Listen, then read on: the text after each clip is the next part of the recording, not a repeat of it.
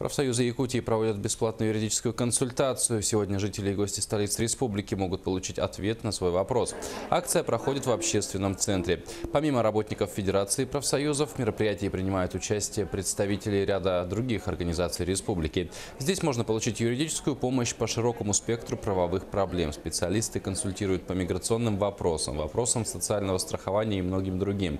Его ежегод- это ежегодное мероприятие открывает декаду, посвященную 95-летию профсоюзного движения в Якутии.